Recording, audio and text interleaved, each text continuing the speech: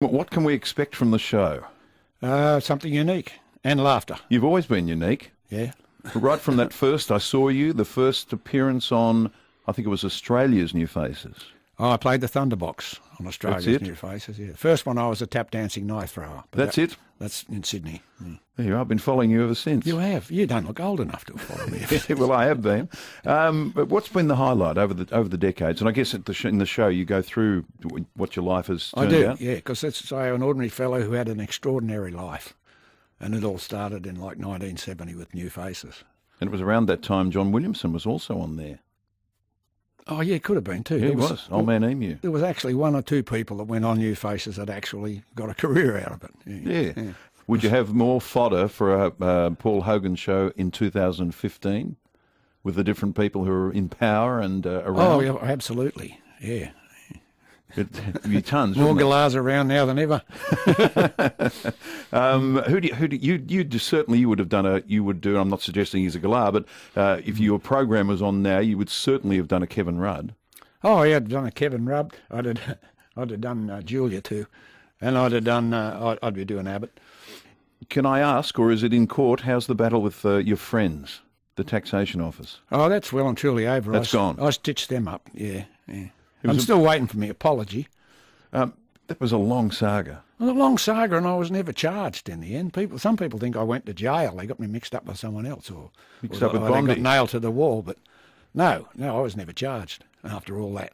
All of that kerfuffle. Yeah, five years of it. Did it? Um, do you reckon it aged you? Um, The no, strain of it all? No, in a strange way, I kind of enjoyed it. I was doing nothing else. So you enjoyed a bit of a battle. Yeah, especially when you know you're right. You know, they're, they're the best kind of battles. Yeah, but you don't. You, you might know you're right, but it's not had the way it's portrayed. No, I know. It sort of it besmirched me in a lot of places, made people be a bit wary about going into business with me because, you know, oh, you got the tax office looking over your shoulder. But that's all they did, look over my shoulder. And you've got a question for Paul Hogan? Hi, Paul. A big fan of Bless you. yours. Um, I just wanted to know if you had to have three people over for dinner, celebrities, who would you invite? Because you're one on my list. Oh, cool. Living or dead? Um, I prefer living because Oh, it, it wouldn't go down too well. Uh, I'd have Barack Obama over. I'd have Denis over, of course. Yep, just two.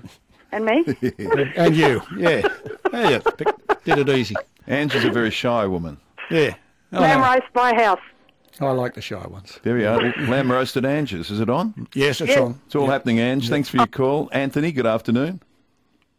Well, where did you invent some of your characters from? Are they based on real people like the old wino and Nigel, the skateboarding kid, and uh, Luigi, the unbelievable, and who else was there? Um, oh, um, oh, the Chuck Norris character, you know, the uh, uh, Leo- the uh, Daredevil, Leo Wanker. Wanker. Yeah, yes, they were all loosely based on real people. And I sort of glamoured them up a little bit and took them to the extreme, but all of them were. I mean, Nigel Lovelace were based on my own kids. Ah, all right. Anthony, good question. Paul, good afternoon. Uh, g'day, Denis. Uh, g'day, Paul. Uh, I'm a huge fan of yours, and I'd just love to ask you: um, Is there any more movies uh, in the pipeline, or anything coming up that you're going to be doing? Um, no, the last thing I'm doing now is me me life story live on stage with bits of film and video to back it up. I have nothing else planned, but I never have planned ahead. You know. So you wouldn't say no to a movie role if it was right? No, I've had. I still get the odd offer, even though I'm an old age pensioner. But um, they're not appealing to me. Mel, good afternoon. Oh, hi, guys. I'm shaking, Paul. I can't believe I'm actually talking to you. I grew up with you. My mum and dad had this funny laugh every time they listened to you and Strop and Delvene. Absolutely amazing life you've had. I just wanted to know, would you change anything if you had the chance in your life? No, of course you can't. You know, it's just you you wake up every day, and if you wake up, you're ahead of the game. But what was the motivation back to go on uh, New Faces? Oh, to take the Mickey out of it. I thought it was cruel. I thought the um, the celebrities were sort of like persecuting the amateurs. And I thought it'd be nice for someone to give them a taste of their own medicine. And that's the only reason I went on it. And you've been giving people a taste of their medicine ever since. Ever since, yeah. I'm probably the only person who ever went on a talent show and didn't want to win it. You got one of the most famous lines from any movie.